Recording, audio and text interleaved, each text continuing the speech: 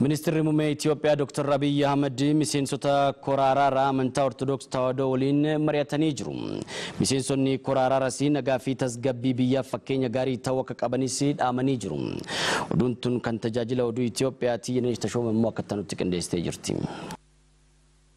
Muummichi ministeeraa Dr. Abiy Ahimad miseensota koree araaraa amantaa Ortodoksii Tawaahidoo wajjin biiroo isaaniitti mari'ataniiru. Muummichi ministeeraa miseensota koree araaraas nagaaf tasgabbii biyyaaf fakkeenya gaarii ta'uu akka qabanis eeranii waldaan amantaa yoo nagaa ta'e biyyi keenyas nagaa taati jedhan. Turtii Ameerikaatti imalan keessatti nagaaf jecha gatii gumaachuu qabanis gumaachuun nagaaf tasgabbiin waldichaaf deebi'uu akka qabus dhaamaniiru. Miseensonni koree araaraa abbootii amantaa kara lameenuu araara buusuuf hojjechaa jiraachuu himan. Itoophiyaas ta'e Ameerikaatti deeggarsi abbootiin amantaa taasisaniif miseensota koree araaraa galateeffachuun gaara jibbiinsaa gidduu isaanii jiru jiguu akka qabus dhaamaniiru. Miseensonni koree araarsituu kudha tokko torban dhufu gara Ameerikaatti imaluun araara xumuruun Ameerikaatti kan argaman gara biyyaatti qabatanii akka deebi'an ni eegama. Maddii odeeffannoo waajjira ministeera muummeeti.